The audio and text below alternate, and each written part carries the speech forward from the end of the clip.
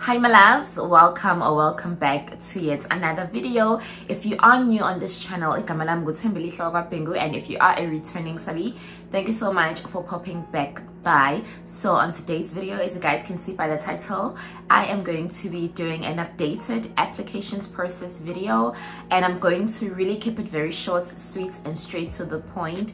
Unlike my first applications video or process video um, where i really touched on on a lot of components and i was really in depth and in detail about a lot of things but for this video i'm not going to do that because i believe that with all the information that is out there on the internet and also with the information that I've been sharing on my platforms I believe that you guys have an idea of what to expect from now on moving forward. But also for those who are new here who just stumbled upon this video and are just pretty much looking for any updates on the application process and what to look forward to currently when applying to come and teach in Taiwan then I will mention all the important details but I will just keep it very short and straight to the point. So if you haven't subscribed already please do subscribe to my channel hit the notification bell so that you can get notified every time I post a video let's start with the requirements so the current very most important requirements that i needed from you when you're applying to come and teach in taiwan are your pcc which is your police clearance certificate as well as your degree and your SACE certificate as well as your CV and your proof of vaccination. So when it comes to your degree, your SACE, your TEFL, all of that. It depends on if you are either applying for the public school or the government school or if you're applying to teach at a cram school it also depends on the kind of qualification that you have if you do have your bachelor's degree in education or your uh, PGCE then you do qualify to teach in the public schools or to work for the government but then it means then you won't require they won't require you to have things like your TEFL but you do still need to have the things that I mentioned which is your PCC your degree, your CV, as well as your proof of vaccination. And then you are going to then process um, your application and then you will move on to the next step where they will require your demo, teaching demo, or even your self-introductory video where you introduce yourself.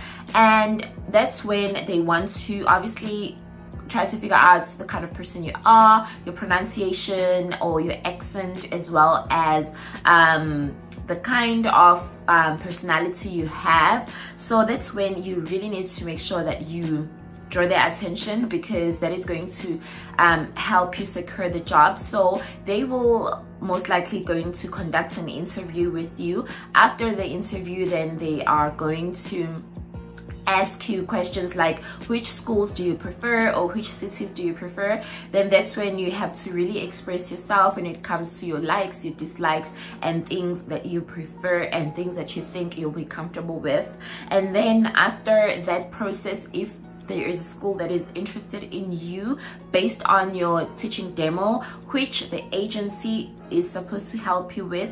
Like they are going to provide you details on what to prepare what to say or specifically just basically what to teach. So you have to make sure that you really do your research and you work yeah you work smart and work hard to making sure that you land yourself a job because after that the school is most likely going to offer you a job when the school offers you a job then you sign the contract to agree to the salary as well as the overall package your area and everything. So that's also another important part where you have to make sure that you understand the contract that you are signing and then afterwards then they are going to process your application for a work permit.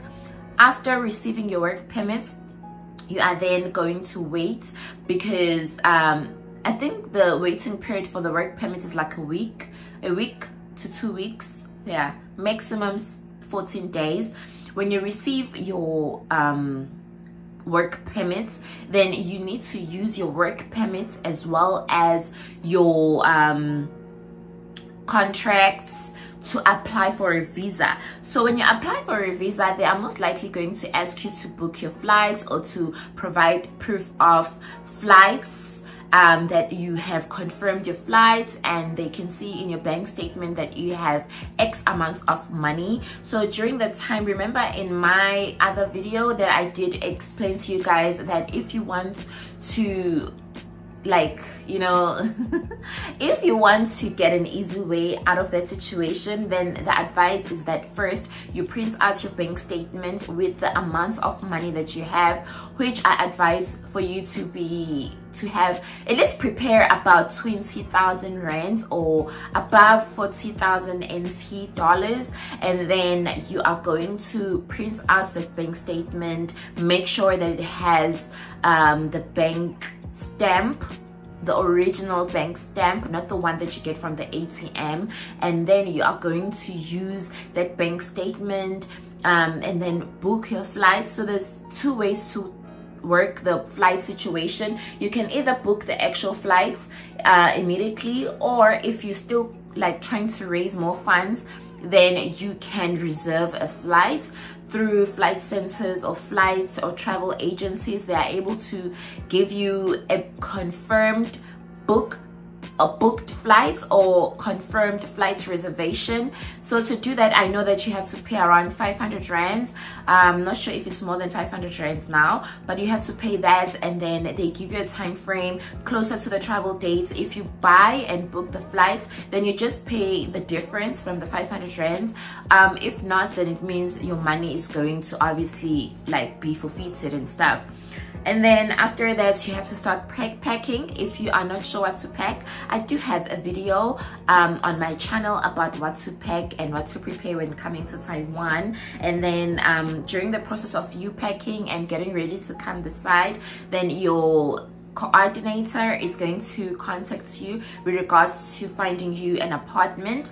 During that process or during that step again you need to be sure that you choose a place that you know you are going to like a place that is not too far from your school and a place that is central to all the most important areas you might need. Example um, a place where you know it's easy for you to find the supermarkets a place where it's easy for you to find public transportation and all of that. And then um, because there's no longer quarantine here in Taiwan so it means that as soon as you land in Taiwan you are going to move to your apartment. So do make sure that you look for something that you can afford and also an apartment that you really really like because you are most likely going to spend like a year in that area or in that apartment also depending on the time frame that you arrive in Taiwan and the logistics around your contracts as well as yeah basically your time frame when you arrive here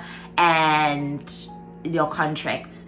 So after you come here then you go to your school so that you can like obviously start your work.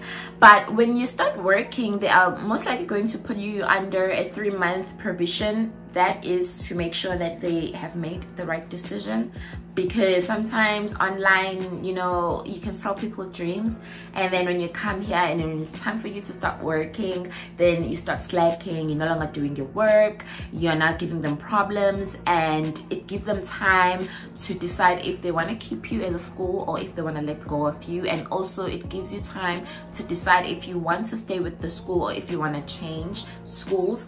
So make sure that during the time you really put your best foot forward because remember you're not just re representing yourself you're not just there for yourself you're also representing the entire country. So it says a lot about you where you come from and the reputation that you are leaving uh, behind because trust me if you are going to come and play then they will always remember that a south african teacher came here and did abc or a, a canadian teacher did this or an american teacher did, did that.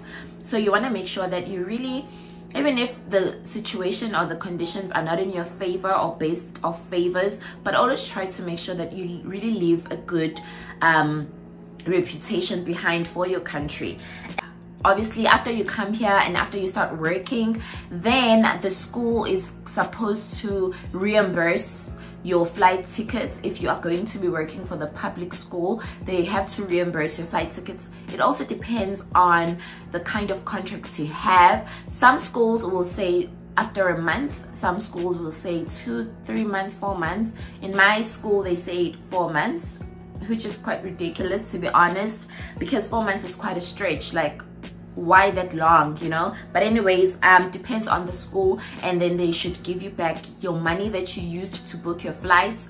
And then um if you like the school and if the school likes you then chances are you guys are going to decide to renew um, the contracts and then you are still going to have a good long working relationship so it pretty much depends on you as a person. It also depends on the kind of coordinator that you have. It depends on the kind of agency that you have.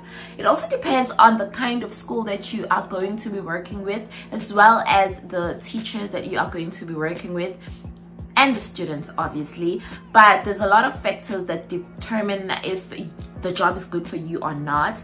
And it's important that before you travel to Taiwan, you are aware that your mental health and mental strength will be tested in many ways as well as how well you can cope with a lot of situations and dynamics. So without wasting any more of your time i hope that you guys did enjoy this video um, and we've come to the end of this video. I will be uploading a vlog soon. So do look out for that. And if you haven't subscribed to my channel what are you still waiting for? Please do hit the subscribe button. And if you are a returning sorry thank you so much again for your continuous support. I will see you guys on my next video. Goodbye